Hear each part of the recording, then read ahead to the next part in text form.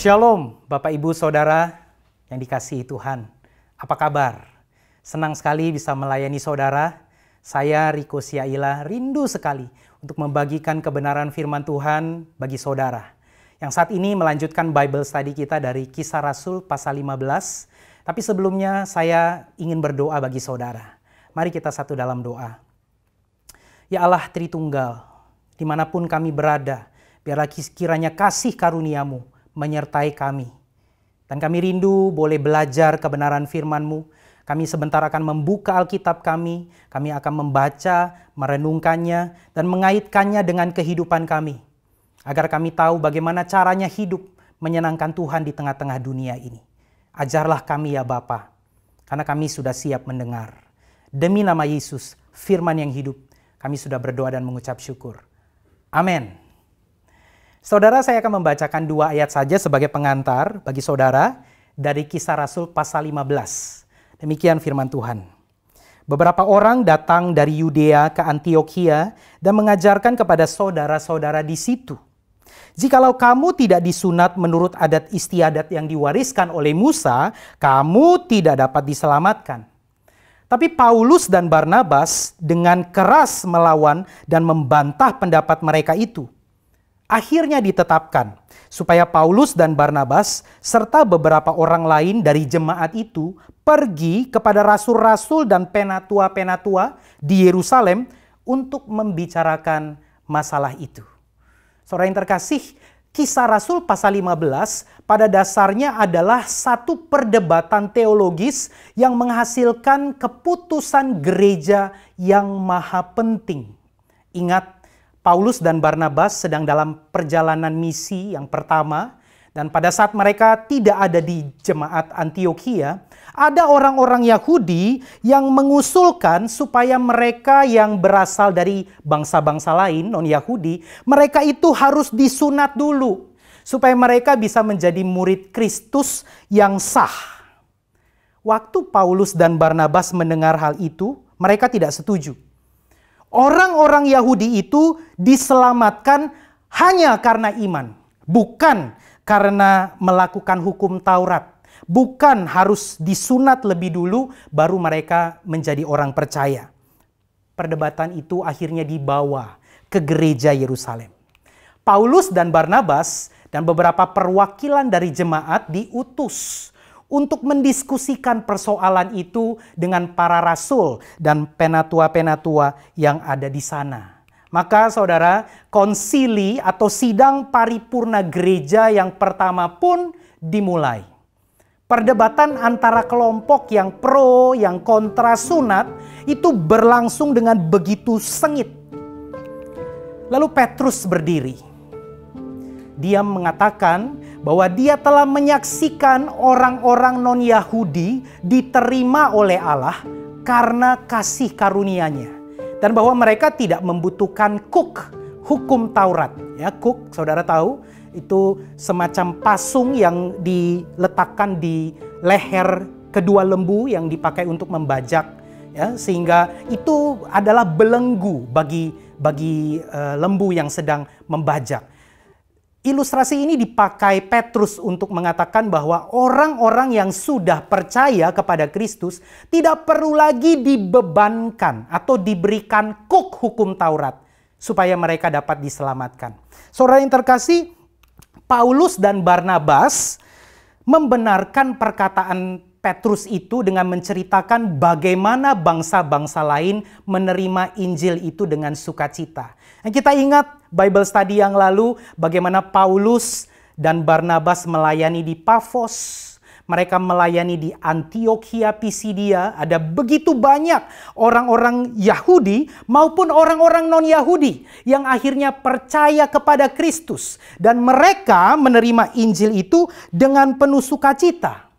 Jadi Petrus sudah berbicara, lalu dalam sidang itu Paulus dan Barnabas pun membenarkan perkataan Petrus dan akhirnya Yakobus. Nah, Yakobus ini menegaskan kesaksian Petrus, Paulus, dan Barnabas. Menegaskan dengan cara apa, saudara? Dengan mengutip nubuatan dari Amos pasal 9 ayat 11 sampai 12 bahwa orang-orang non-Yahudi itu akan dibawa ke dalam kerajaan Allah. Kapan itu berlangsung, saudara? Jadi, Tuhan itu tidak hanya menyelamatkan Israel, tapi Tuhan juga menyelamatkan bangsa-bangsa lain juga. Nah, kapan itu berlangsung? Yakobus merujuk kepada nubuat Amos yang mengatakan bahwa Allah akan membangun kembali pondok Daud yang sudah roboh. Dan ini bicara tentang Kristus yang mati dan dibangkitkan. Sehingga melalui kebangkitan Kristus, maka berita keselamatan itu akan sampai ke seluruh bumi ke ujung-ujung bumi. Jadi, Yakobus menyarankan agar gereja jangan mempersulit orang non-Yahudi yang baru bertobat. Bangsa-bangsa lain tidak perlu menjadi Yahudi untuk percaya kepada Yesus. Tetapi, bukan berarti ajaran Taurat tentang hidup kudus itu tidak perlu buat mereka. Sebaliknya, Yakobus dengan bijaksana menyarankan untuk menulis surat, semacam surat keputusan, surat keputusan bersama kepada mereka. Mereka yang dimaksud adalah bangsa-bangsa lain yang menerima Injil. Surat ini ditujukan kepada mereka. Dan surat ini berisi apa? Mereka harus menjauhkan diri dari empat hal. Dan kita akan bicarakan nanti. Saudara, sidang jemaat itu akhirnya kembali mengutus Paulus dan Barnabas untuk kembali ke Antioquia dengan surat keputusan itu. Dan surat itu pun akhirnya dibacakan dan jemaat yang berasal dari kalangan non-Yahudi begitu bersuka cita.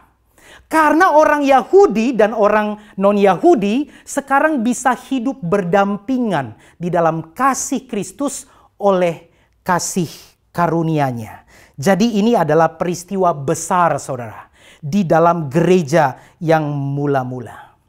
Lalu saudara, apa yang bisa kita lihat? Perdebatan ini memberi kepada kita tiga wawasan. Yang pertama, bagaimana Injil menyelamatkan? Ayat 7 sampai 11. Yang kedua, bagaimana Injil membebaskan kita? Ayat 28 dan 29. Dan yang terakhir, ke mana Injil memimpin kita? ayat 30 31. Dan kita akan membahas lebih dulu yang pertama. Saudara, bagaimana sih Injil menyelamatkan? Kadang-kadang sebagai orang Kristen kita tidak memikirkan lagi bagaimana saya diselamatkan. Mengapa saya bisa selamat? Siapa yang menjamin bahwa saya sudah diselamatkan, saudara? Nah, kisah Rasul pasal 15 mengingatkan kita bahwa saudara dan saya diselamatkan yang pertama melalui karya Roh Kudus.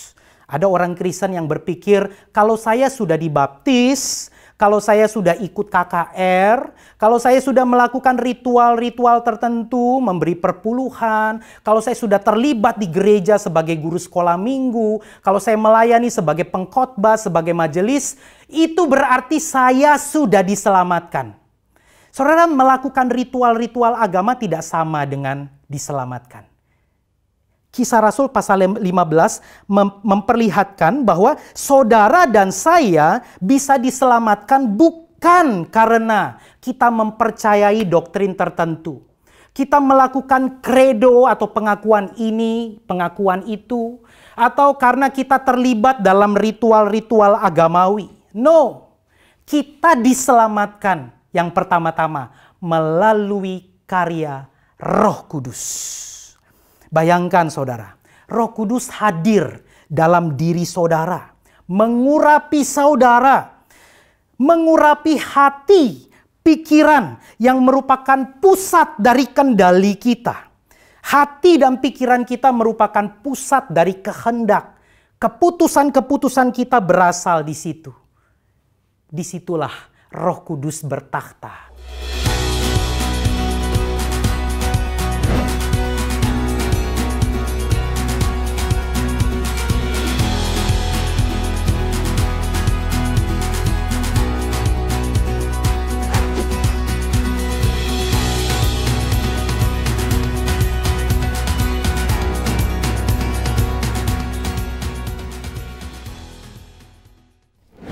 Roh Kudus mengubah kita dari hati. Nah, ketika hati kita diubah, pikiran kita diperbaharui, maka kita bisa mengucapkan iman, pengakuan iman bahwa Yesus Kristus adalah Tuhan. Pelan-pelan kita mulai membenci dosa. Pelan-pelan kita mulai mencintai segala perbuatan-perbuatan yang menyenangkan hati Tuhan. Roh Kudus mulai dari situ, saudara. Dia menyucikan hati kita dengan iman. Tahu-tahu, saudara, benci melakukan dosa. Keinginan untuk memanipulasi orang lain, untuk curang dan sebagainya, itu diganti dengan hati dan pikiran yang baru. Inilah ajaibnya anugerah Tuhan. Dan kita tidak bisa menyelamatkan diri kita, saudara. Hanya Tuhan, ini bagian yang kedua ya. Hanya Tuhan di dalam anugerahnya yang bisa membenarkan kita. Ketika saudara dan saya percaya kepada Kristus, maka kita akan bersatu dengan Kristus. Kita dibenarkan sehingga kita bukan lagi menjadi anak-anak yang takluk kepada Taurat. Tetapi kita menjadi anak-anak Allah yang takluk kepada hukum Kristus. Kristus sudah menyempurnakan apa yang saudara dan saya tidak bisa lakukan. Saudara silakan aja. Saudara mau melakukan ke sepuluh hukum. Saudara melanggar satu, penulis Ibrani katakan, saudara sudah melanggar semuanya. Lalu bagaimana kita melakukannya? Bisa saudara, di dalam Kristus. Kalau saudara tinggal di dalam dia, maka saudara akan melakukan ke sepuluh hukum itu dengan sukacita. Mengapa? Karena Kristus sudah lebih dulu melakukannya bagi kita. Saudara, ini Injil. Jadi ketika Kristus di dalam anugerahnya membenarkan kita, kita tidak lagi memerlukan aturan-aturan di dalam keselamatan kita untuk meyakinkan kita bahwa kita sudah diselamatkan.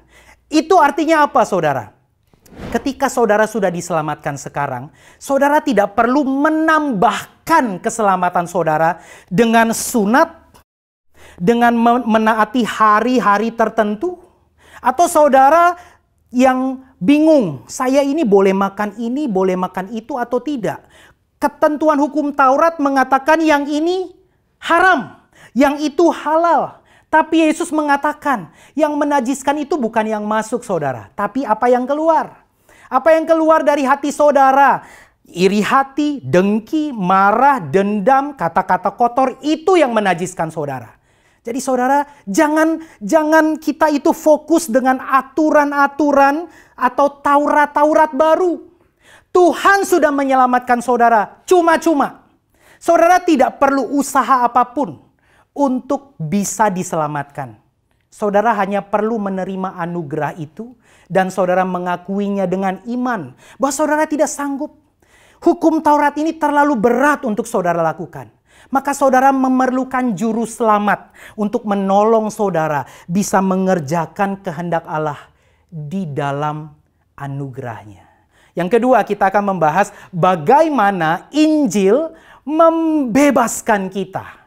Pertama-tama saudara, Injil membebaskan kita dari menyelamatkan diri kita sendiri. Saudara, memang sidang Yerusalem itu menulis sebuah surat untuk orang-orang non-Yahudi yang percaya. Jadi orang-orang non-Yahudi itu tidak harus berada di bawah kuk hukum Musa. Ada kebebasan di dalam Injil. Pertanyaannya bagaimana Injil itu membebaskan kita? Saudara mungkin bingung. Kenapa Yakobus menyarankan menulis surat yang berisi empat persyaratan tadi. Saudara, pertama Injil membebaskan kita dari menyelamatkan diri kita sendiri. Saudara bisa memperlihatkan ya, uh, saudara bisa melihat di slide yang ada. Inilah empat syarat itu. Kamu harus menjauhkan diri dari makanan yang dipersembahkan kepada berhala dari darah, dari daging binatang yang mati dicekik, dan dari percabulan. Empat hal ini saudara, ini yang harus ditunjukkan oleh bangsa-bangsa lain yang akhirnya menjadi percaya kepada Kristus. Nah saudara sekarang melihat ya, satu, dua, dan tiga ini adalah hukum makan. Hukum makan pada masa itu sangat penting karena ini menunjukkan fellowship, persaudaraan. Ya, persekutuan itu terjadi di meja makan.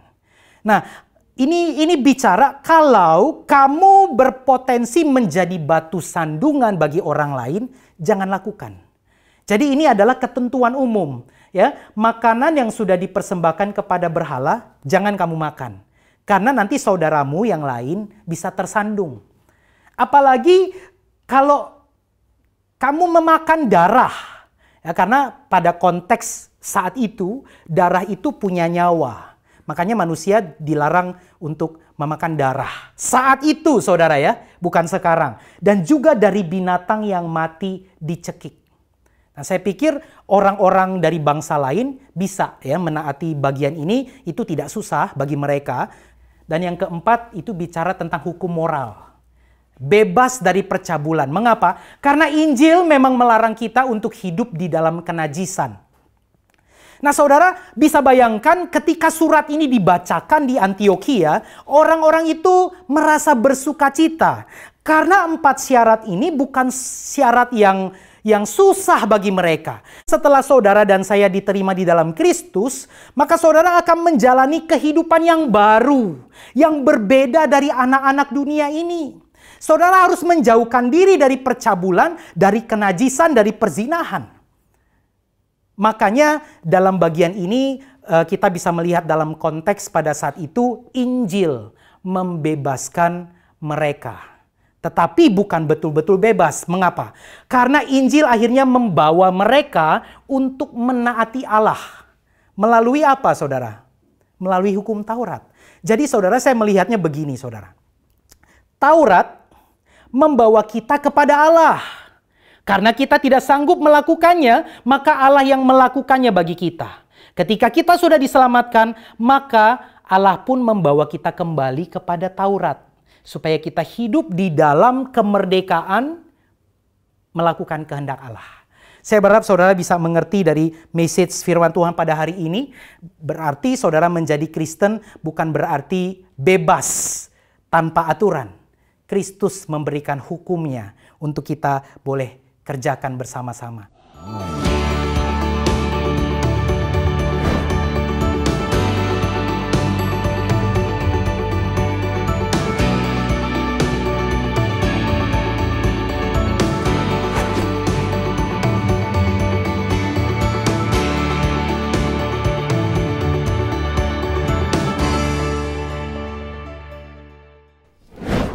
Dan yang kedua, Allah menyelamatkan kita, Allah membebaskan kita hanya dengan kasih karunia di dalam Kristus. Saudara kasih karunia, kasih karunia itu ketika operate dalam diri kita. Kasih karunia itu akan diikat, akan dipertalikan dengan tubuh dan jiwa kita yang berdosa. Sehingga di dalam doa kita kita bisa menyadari, Tuhan, saya ini punya kecenderungan kalau berkata-kata menyakiti istri saya, menyakiti anak-anak saya, dan sebaliknya. Tuhan saya dengan kata-kata saya, saya bisa melukai perasaan suami saya.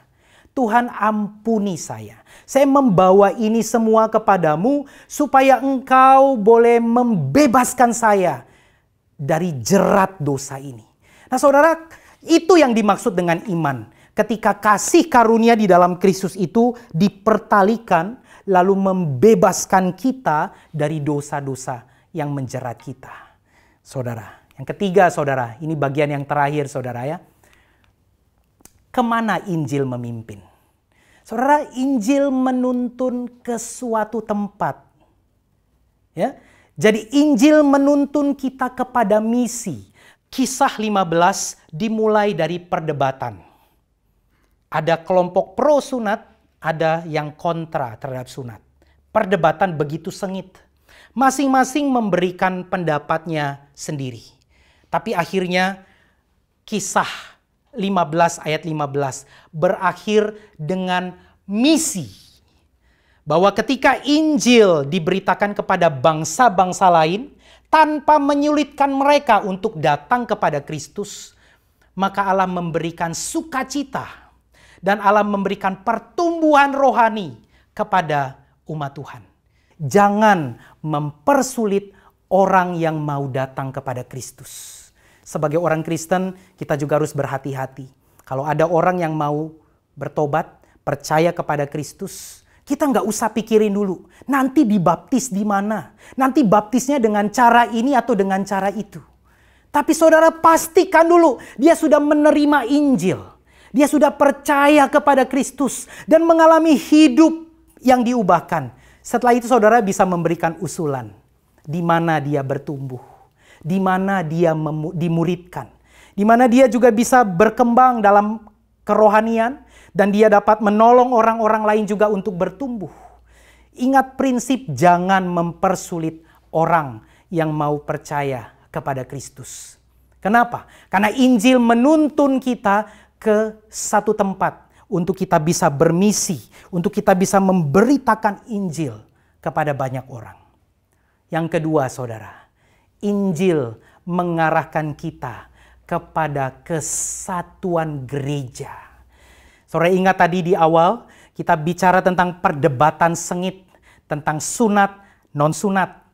Dan perdebatan itu akhirnya dibawa ke satu konsili gereja. Dalam pimpinan Roh Kudus, akhirnya perdebatan itu menghasilkan satu kesepakatan, satu kesatuan agar umat percaya Yahudi, non-Yahudi yang sama-sama menjadi Kristen dapat hidup di dalam kesatuan. Jadi saudara kalau kita membaca perikop berikutnya itu juga akan kita akan melihat ada perdebatan antara Paulus dan Barnabas. Kita nggak nggak cukup waktu untuk membahas itu, tetapi intinya Tuhan akan menyatukan gerakan pemberitaan Injil ini. Jadi saudara memang kita tidak bisa menjangkau seluruh dunia, tetapi kita bisa bersatu, kita bisa bersinergi, kita bisa bekerja sama bahu membahu antar gereja, para church, institusi Kristen, institusi pendidikan. Kita bisa bahu-membahu bersama-sama dengan keluarga Kristen. Kita memberitakan Injil bagi dunia ini. Sehingga saudara kita tidak perlu mempersoalkan, kamu dari gereja mana? Kamu dari aliran mana?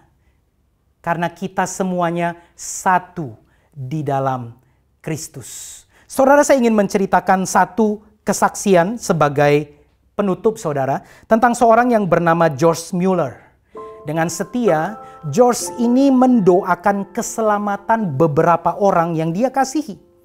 Yang pertama, saudara, dia mendoakan satu orang selama berbulan-bulan. Dan orang ini bertobat. Yang kedua, saudara, dia membutuhkan waktu 25 tahun sebelum orang yang kedua, yang ketiga, dan yang keempat bertobat. Sebelumnya orang-orang ini tidak mengenal Tuhan. Dan saudara akhirnya setelah 50 tahun berdoa bagi orang yang dia kasihi, George Mueller pun mati. George Mueller tidak menyaksikan orang ini bertobat, tetapi tiga bulan setelah pemakamannya, barulah orang yang kelima itu mengenal Yesus sebagai juru selamatnya. Butuh 50 tahun untuk orang yang kelima akhirnya percaya kepada Kristus dan akhirnya diselamatkan. George Mueller tidak pernah melihat hasil dari semua doanya, tapi dia tidak pernah berhenti berdoa dengan sabar dan memberitakan Injil. Jadi saudara, jangan pernah menyerah untuk keselamatan orang-orang di sekitar saudara. Jangan pernah berhenti untuk memberitakan Injil. Dan jangan pernah mempersulit orang yang ingin datang kepada Kristus. Tuhan akan memakai saudara dengan panggilan, profesi, dengan ladang pelayanan saudara masing-masing untuk memberitakan Injil. Sehingga akhirnya nanti kita akan melihat seluruh bangsa boleh percaya kepada Kristus dan akhirnya diselamatkan. Mari kita berdoa. Ya Tuhan, terima kasih untuk kisah Rasul pasal 15 yang menolong kami merendahkan diri di hadapan Tuhan, tidak mengandalkan prestasi kami ataupun juga pengalaman-pengalaman rohani kami dalam mengikut Tuhan. Kami bergantung sepenuhnya kepada Injil kasih karunia Allah. Tolong tolong kami untuk melihat kesempatan demi kesempatan untuk membawa orang-orang yang tidak mengenal Allah datang kepada Kristus tanpa mempersulit mereka. Dan akhirnya kami akan melihat bagaimana Injil akan menyatukan semua orang tanpa memandang latar belakang, suku, bangsa, maupun juga agama. Tuhan kiranya Engkau bekerja terus melalui kami untuk kami boleh giat memberitakan Injil apa pun profesi dan panggilan kami saat ini. Terpujilah Tuhan, demi nama Tuhan Yesus. Kami sudah berdoa dan bersyukur. Amin. Terima kasih. Tuhan memberkati saudara.